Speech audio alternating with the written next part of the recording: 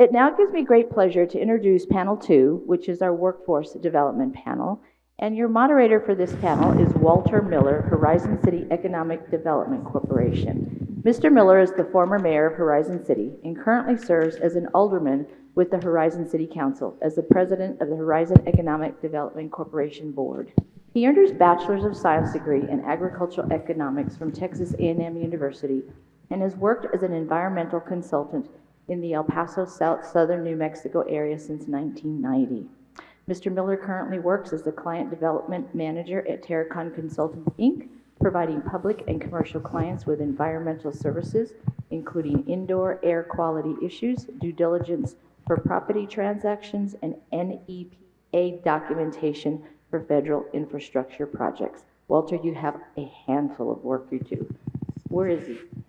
Oh, there you are. Sorry. I'm going, where is he? He's working.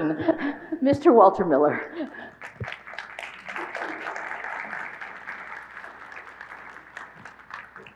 Good morning, everyone. Uh, Really, really pleased here, pleased with this event. Uh, To put a little bit of uh, commercial for Horizon City, I've been involved with Horizon City for many years. We're in the middle of huge growth spurt right now, and it's driven by uh, investment from a lot of larger corporations, but as was stated before, it's all needs to be supported by small business. Horizon's always been about small business, and so I want to thank Eddie, Eddie for putting this together and for the Texas Workforce, for the governor's office for bringing it to us. Uh, this is a great event for Horizon City. Uh, today we're going to talk about workforce development, and I know that as small business, that's foremost on most people's mind. Workforce is a continual challenge, and so we have some folks here. I'd like to introduce uh, first Mr. Roberto Ransom. Roberto Ransom is the Director of Economic Development for the County of El Paso. Prior to this, he was, worked for the state of New Mexico, which we will give that part a little bit. Economic Development Department, Office of Mexican Affairs and Trade, and with the Juarez World Trade Center. As the El Paso Director promoting economic integration and strengthening the relationship between communities within the Paso del Norte region. His most recent role was Operations Director for the UTEP's Hunt Institute for Global Competitiveness. Roberto strengthened the Institute's engagement at the regional and binational levels in the Paso del Norte region by working closely with different university departments and federal and state government agencies. Roberto obtained his BA in International Business and Computer Information Systems from the University of Texas El Paso in 2005. So we want to welcome Roberto. We also have John Nunez, who is the Business to Business Administration for Western Technical College. He is additionally in charge of supporting the launch of Western Tech's collaboration with UTEP in support of an aerospace and defense training program. Mr. Nunez is business focused, bilingual professional with a strong business acumen acquired through both training and experience. And as a surprise guest, we have business owner and my good friend Gary Garcia. No, not that Gary Garcia, the other one. Uh, Gary is uh, is partner in Quinones Meat, uh, a long time El Paso institution, uh, small small business owner, and we are really pleased that he stepped in at the last moment to assist us with that. Gary is, brings unique uh, perspective as as a business owner of workforce in El Paso. So with that, I'm gonna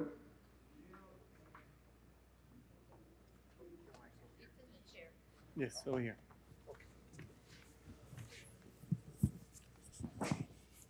So we can begin with our questions this morning concerning all workforce development. And I'll start with you, Roberto. What are the most, what are the events that have shaped workforce in El Paso County and the, and the region in the last five years? And how can the small businesses capitalize on them? Well, uh, first of all, uh, thank you for the introduction. Uh, thank you for the organizers of this great event, uh, Mr. Eddie Garcia and Rafa. Uh, thank you for the invitation, the governor's office. Um, basically, I would like to uh, put it in context, uh, you know, the different events that we had had globally that basically permeate uh, small businesses here in the region. So I'll start off with uh, several e- events that uh, five years ago started to have an impact, a direct impact on the workforce. And as of today, you know, they still have uh, uh, uh, an impact. No, the first one, you know, that started shaping things, uh, I think it was uh, the U.S.-China trade relationships, or as we know it, the the, the China-U.S.-China trade war. I think that the trade war opened the eyes for many corporations to say, "Oh my gosh, you know, my my product is going to be very expensive coming from China into the U.S." So that that, that was probably the first wake up call. The other wake up call, I think, it was uh, the event of uh, the pandemic, uh, COVID nineteen. Uh, and then the the, the full uh, effect of the USMCA taking place a few months after the pandemic. So basically, that uh, on the corporate world uh, made that all these corporations uh, said, well, we need to tighten the supply chain, we need to reduce costs, and uh, we need to basically go where uh, our final product is nearby. So all the direct in, foreign direct investment uh, globally started funneling through towards the U.S.-Mexico border okay? And uh, where I'm going with this is because uh, communities like, um, let's say, uh, Tijuana, right? They don't have right now an economic indicator is they don't have industrial space. Uh, that is true as well for Ciudad Juarez and, and El Paso. Our industrial pa- space is very limited. Uh, and that is also true for Laredo, right? Uh, in Nuevo Laredo. Uh, so basically, that is an economic indicator. Then you also have the economic indicator of uh, the uh, energy use. Water, elect- electricity is just going up, right? So all of that, it basically all that foreign direct investment funnels into these places, and it permeates small businesses because we have more money going on in the community. So if uh, the direct, for example, there's a if if uh, your business, let's say, is directly in the sector of uh, you know transportation, where you know in Juarez or over here the demand for you know uh, drivers and uh, freight forwarders is very high. If you are, let's say, in uh, you know construction, if uh, you are in the logistics sector, um, please let me know because I have extra copies of my resume. You know, those businesses are going to be doing excellent. And, and then uh, all of the Fortune uh, big companies, corporations have these employees, right? And these employees basically have to, you know, uh, cut their hair, you know, once in a while. They have to basically uh, go to restaurants, uh, go to a bar. Uh, they have to basically, you know, ladies, they have to do their, their nails. So all this is the ripple effect of the foreign direct investment uh, arriving into different places of the U.S.-Mexico border, having a direct and indirect impact uh, in small businesses. So I think uh, those are some of the events that have shaped the corporate side and uh, how you you know it permeates uh, on the on the small business side. Okay. So thank you, sir. And Mr. Nunez, what is your perspective? So I'm gonna elaborate on what he just said. Um, so all these events are, are bringing a lot a lot of jobs into the U.S. Um, I know some of these areas have not reached the El Paso region yet, but we can attract them if we create the right skill set um, employee that they can hire. And some of the examples that I can talk about is one of the biggest ones is um, space exploration. That's a big talk right now worldwide, correct? And I am surprised that um, a lot of El Pasoans don't know that we're in the center of this. Did you guys know that we, within 150 mile radius of El Paso, we have two spaceports? One is up here in New Mexico, which is Spaceport America. Um, Virgin Galactic is working out of that one. And then in um, north of Van Horn, we have Blue Origin. Um, so both of these um, entities, Blue Origin and Virgin Galactic, what they're doing is they're working on space tourism. So just imagine that, the growth there, um, what the opportunities are for small business. Um, like you were mentioning, I mean, that's going to be anything with hospitality related. You know, you have people that are coming in to do their space travel here, right? So how, how can you fit into that? Um, and we have to provide the skilled labor. Um, one of the things that we're doing at Western Tech is we've actually been working with Blue Origin for about five to six years, and we've proven to them that we can create the skilled labor that is required for, for them to operate at a high level. And these are, you know, white collar jobs that they're going to be earning. They're going to be earning very high um, pay. Um, and then the other thing that I would like to bring to the table is collaboration. Um, I with the previous panel, they were talking about, you know, we're one village, we got to work together, but a lot of collaboration has to happen. We are a technical school, but we actually have partnered up with UTEP um, because when you create a career path, there's a lot of exit points in there. You know, we don't just need engineers, we also need technicians, right?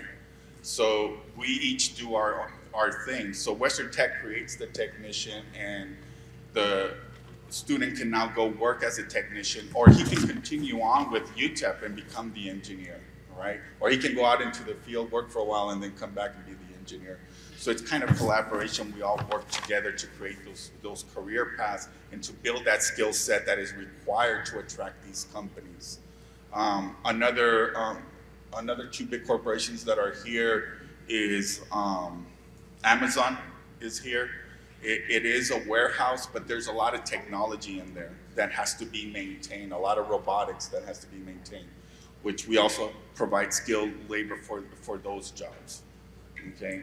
Um, and I don't know the exact name of the other one, but it's also a warehouse and they also have technology. A lot of it is going to be automated, is with T-Max. Is that correct? Um, that, TJ Maxx, there. Um, so that, that also will bring um, on jobs on the technical side. Um, so one of the biggest things is trying to build that skilled labor. Um, and one of the things we have to do in order to build that is we have to connect with the em- employers, with, with the companies. What, what is required of, uh, um, for somebody to be hired with them? What skills do they need? And we have to communicate that with each other. Another example I can give of that is we're working, we're currently working with El Paso Electric. Um, if you didn't know, um, the United States is trying to upgrade their electrical grid, so that's going to provide a lot more jobs. So we're working with El Paso Electric so we can create a program to get um, individuals to enter their their program um, for lineman workers. Okay. So again, it's connecting with them um, and understanding what are the skills that are required, and then we put a program together and provide those skills and bring everybody up to par to be able to take on those jobs.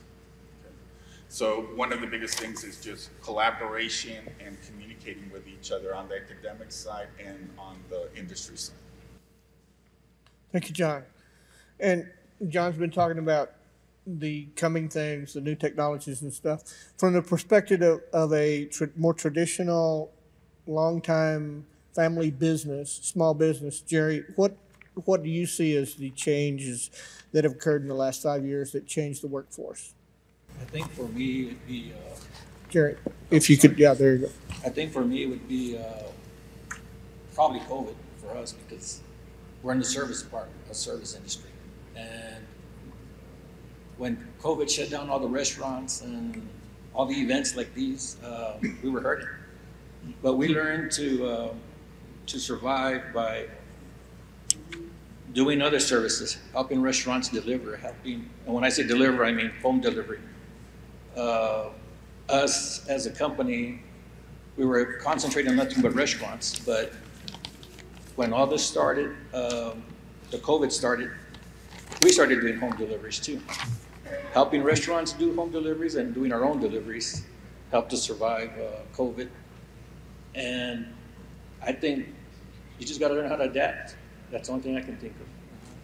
I wish my job was as exciting as these guys with uh, with robots and stuff, but our job is more manual, more. Uh, it's not as appealing to the young, uh, younger people as it is. Uh, you know, you make twenty dollars an hour at uh, Amazon or whatever. So, um, like the panel before was saying, sometimes you got to get up and do your own stuff. That, that, that's what we did survive. Okay, thank you, thank you. Um, Which kind of segues into the next question, which is, what are some of the key soft and hard skills you've seen that are critical for micro or small businesses, business owners in El Paso, and why? And that's more to, how do you deal with,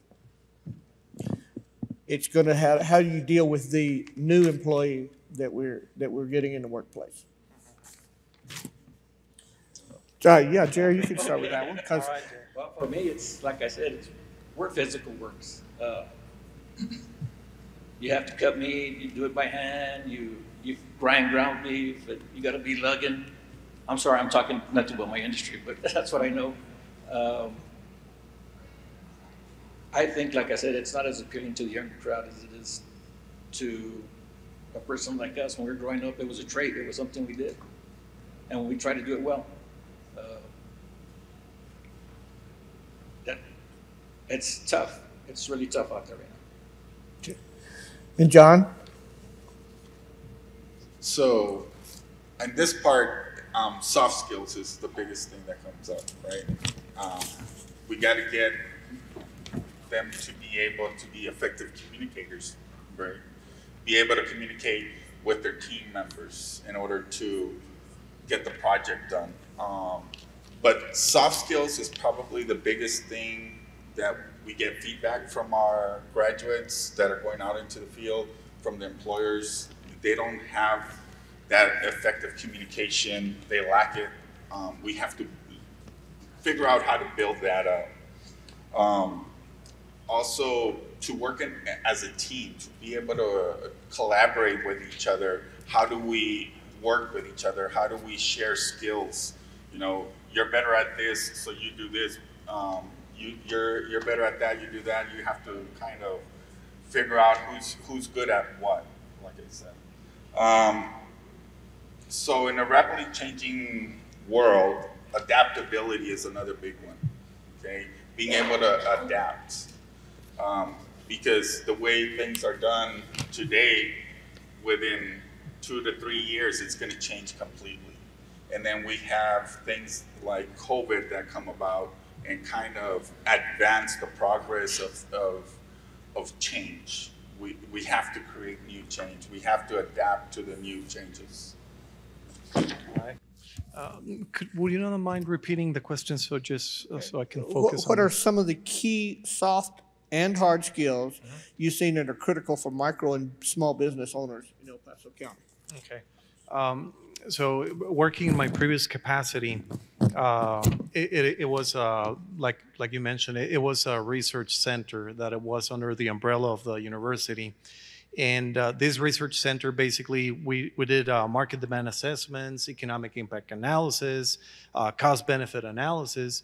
And there was a, a, very interesting project that we did where we analyzed uh, how businesses uh, responded to the pandemic, what businesses raised their hand and said, I need a loan, right? Uh, what businesses basically tap into that and they responded a survey, okay?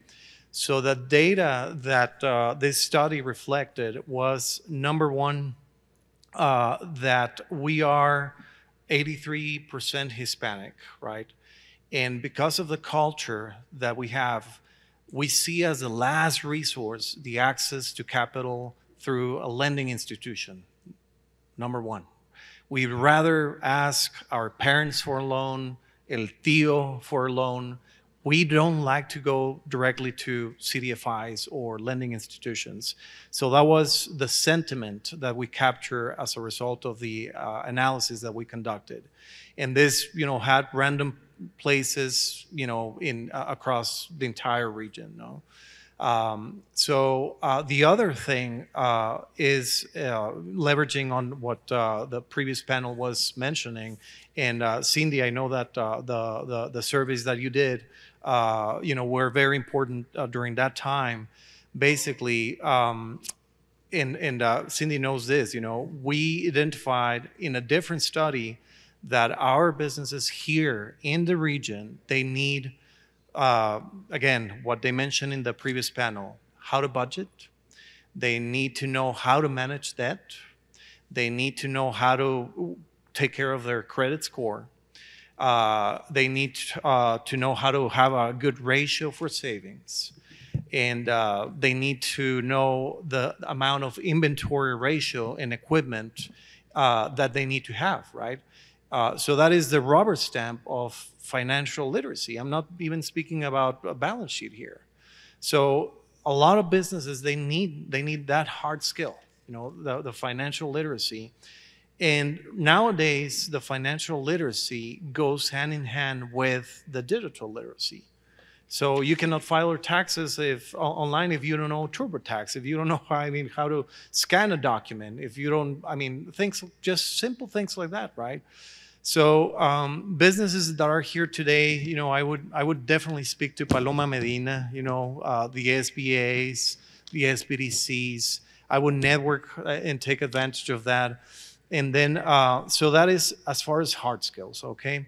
Uh, Here, here, you know, that, that we have seen uh, from analysis that this is a culture, this is actually what we have learned from, from analyzing uh, surveys here.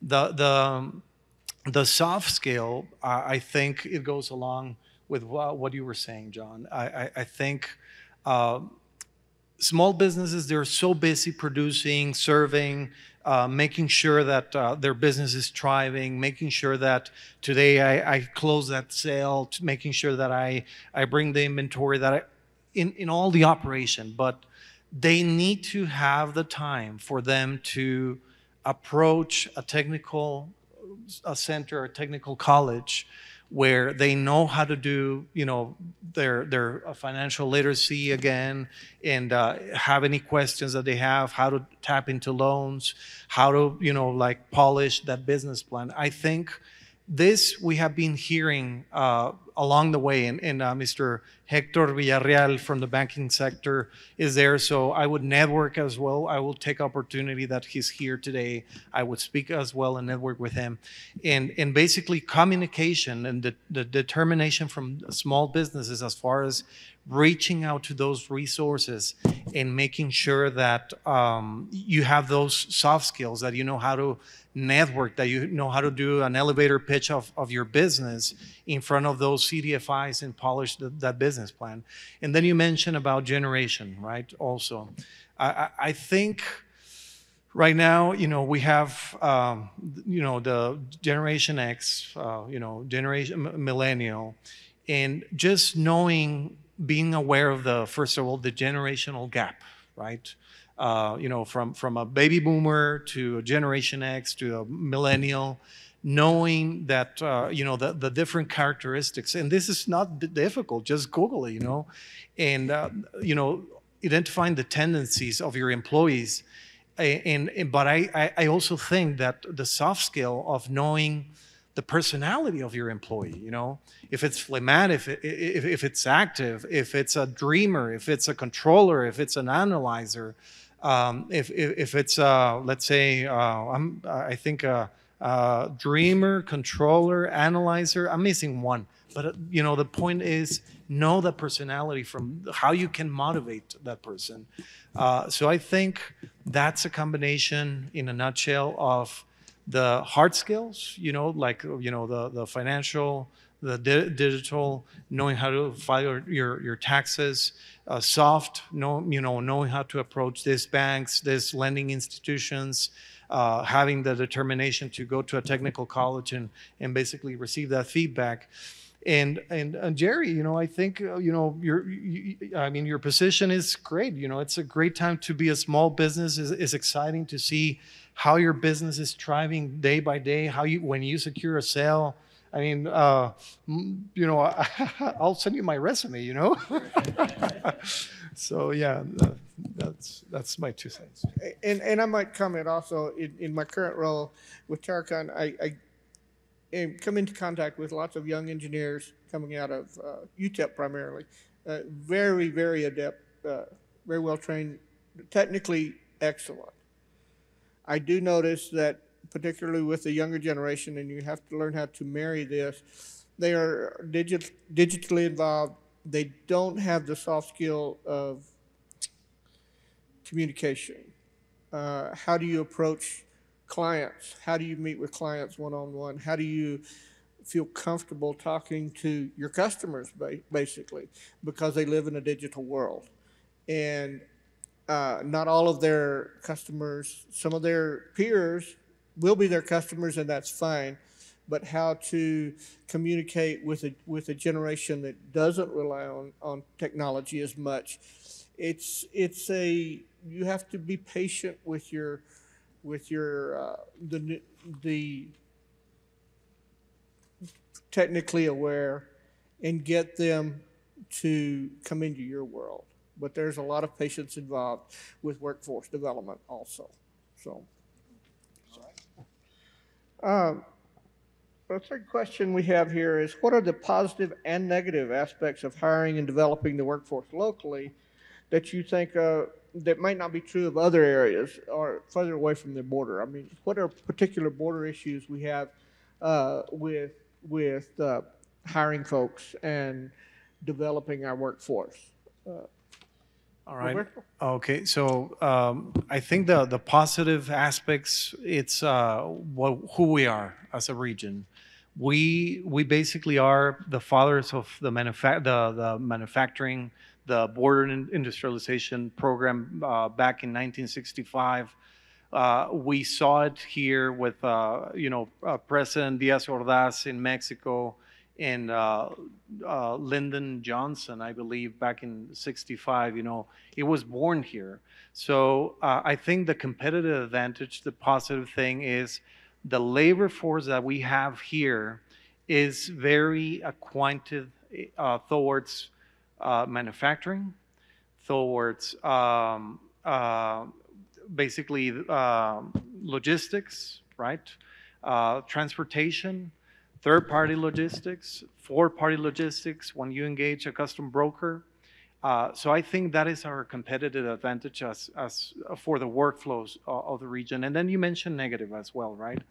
Okay, so um, I think that uh, I, I'd like to add one one more section. I think we, we have a we have a challenge. You know, from passing to the positive to the negative. I think there's there's a gray area in the middle where you have um, uh, a challenge, and this is not only for economic development or SBDCs or the chambers of commerce uh, by by themselves working in silos. I think we need to work together uh, as far as you know knowing what entity is doing what and how we can complement as far as far as again all that foreign direct investment all of that money that is flowing you know from those large corporations making sure that we groom our small businesses for them to tap into that line or in, in that stream of, of revenue that is out there you know because for example we're, we're, we're the second port of entry the most important port of entry between the us and mexico uh, border after laredo. I mean so there's a lot of money going you know flowing you know so the the the the, the thing is just you know like john was saying grooming those small businesses uh, in in identifying the opportunities to tap into the money, uh, into the into the, the the access to to to capital, uh, to making sure that you have the the, the resources in in tapping to that stream of of, of revenue, right? Uh, making sure that your business has the right backbone on the administrative side. So I think that's the challenge that we have. And then, you know, the, you know, the negative is, you know, we have always heard this, um, we're a manufacturing community, we're a distribution community, but um, the negative thing is sometimes we need to focus on jobs that are more value-added jobs, like the aerospace that John that John was mentioning, the white collar, you know, the the high-end technical uh, skills, high-end, uh, you know, in, engineering skills that we need that that we need in order for us not to be a, uh, an exporter of talent. You know, our uh, the the most of our uh, university grads they're serving you know uh, you know in Dallas, Texas with uh, the big corporations and they leave right. So I'm I'm very happy to see that um, we have a lot of uh, you know demand for industrial because that has a ripple effect on small businesses and uh, you know I'm, I'm, I'm, I think the opportunities are there. And again, just on the negative aspect, I think we need to make sure that we have the talent and the skills to make sure that we tap into uh, the high value added jobs. Thank you. and John? So, on the positive side, what we've seen a lot is, and I'm going to use Blue Origin as an example, is the reason they reached out to us was because they were hiring a lot of people, but they were coming from other places like Florida, um, Seattle, and I mean, those are green areas, and then you come into this area and it's completely brown, right? So they were, I mean, after two, three years, they wanted to leave. They wanted to go somewhere else. So what they were trying to do is hire local um, people, and that proved to help their um, turn turnaround on employees. And the reason is that we found out is, believe it or not, a lot of people that have grown up here don't want to leave El Paso, right? I, I hear these um, stories about there's nothing to do in El Paso, El Paso is boring and whatever, but I've, I've seen a lot of people say, I'm leaving. They do leave, but they're back three, four years later, they're back, all right? Um, so if we can take our students or our high school students here and educate them and provide the skills so that they can stay here, they're going to be um, excellent um, employees to hire, okay? Because they're going to want to stay here. They want to grow with El Paso. That's what we see. We do work with large corporations, and most of our jobs, to be honest, I'm, I'm going to say about 50% of the jobs that we have for our um, students are out of town. But believe it or not, a lot of them don't want to go out of town. They want to stay here. They enjoy it here. Okay, so that's where we have to start developing that that the necessary skills to keep those um, people here. And at the same time, if we do attract larger corporations, it will filter down to everybody else.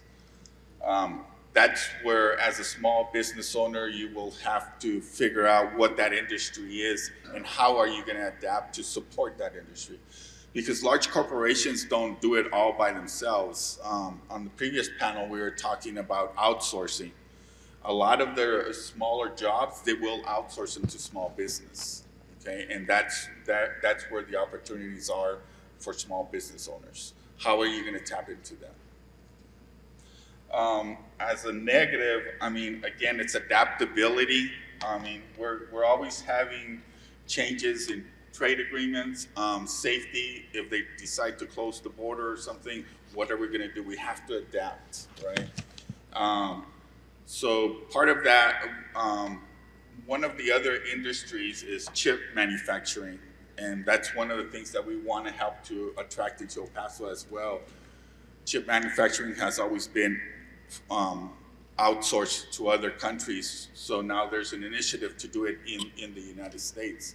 So how do we attract that business here? And that does bring a lot of opportunity to small business because of the technology behind that. There's a lot of support systems that are required for that. So that's another opportunity that El Paso has. And what I've I working with large corporations outside of El Paso, they do like El Paso, but again, it's the skilled labor that they're looking for, and I think um, between all the schools here in El Paso, we can create the skilled labor that they, they need. I mean, El Paso is a great spot. I mean, we don't, a lot of businesses look, um, our, our weather, there's no shutdowns, right? We don't really have any natural disasters other than the windstorms that we get, right? Um, but we have the perfect location and we just gotta build on, on that. And that's gonna happen with collaboration. And that's, um, I'm gonna end by saying, if you guys have a need, if you need to educate your employees, take them to the next level to take you to that, to use that new technology, reach out to us. We'll figure out a way to, to get them there. Okay? Thank you. Sorry. I think for me, the, I'm gonna do the negative part first. I think, uh, the hard part is teaching kids the manual labor stuff, the plumbing, the, the woodwork, the cutting of meat. Because, uh, in reality, like these two gentlemen have been speaking, uh, nothing but technology, which I understand it's the wave of the future. But we still need plumbers, we still need electricians, we still need, uh, guys that can build a wall. I mean, the negative part about that is, like I said, kids, they don't want to do that anymore. Everybody wants to be behind a computer, uh, behind the, the phone, working from home. Uh, I don't know, it's, uh, to me, I think it's, down the line, it's gonna be something that's gonna be hard to replace. We'll switch jobs after this. We'll switch jobs after this. Yeah. And um, the positive is that I'm going to start off with a joke, and I don't know if it's a funny joke or not, but uh, they say that uh, in Egypt there's pyramids, right? And everybody questions how they were built. In Mexico, there's pyramids all throughout Mexico. Nobody questions how those were built. As as Hispanics here, we're hard workers, we're, we're good at labor stuff. And if we train the right people to do the right jobs, I think we'll, I mean, it'll be something that, uh, people can make some money at and, you know, make a living. Thanks. Thanks. Well, I see that, that I'm getting the signal over here that we're about out of time here, so I'll wrap it up. Thank you, gentlemen, for joining us today. Uh, we, we're very pleased to have you all here. Thanks a lot.